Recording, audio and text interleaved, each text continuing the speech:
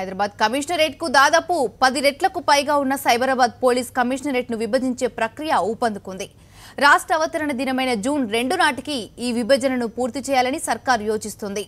నగర శివార్లలో జనసాంద్రత రానున్న రోజుల్లో అభివృద్ధిని దృష్టిలో ఉంచుకుని ప్రభుత్వం సైదాబాద్ కమిషనరేట్ను ఈస్ట్ వెస్ట్ విభాగాలుగా విభజించేందుకు కసరత్తు చేస్తుంది. సైబరాబాద్ ఈస్ట్ పరిధిలోకి యాదాద్రిని సైతం తీసుకొచ్చే అవకాశాలు కనిపిస్తున్నాయి. దీనిపై రెండు మూడు రోజుల్లో సీఎం కేసీఆర్ తుది నిర్ణయాన్ని తీసుకోనున్నారని సమాచారం.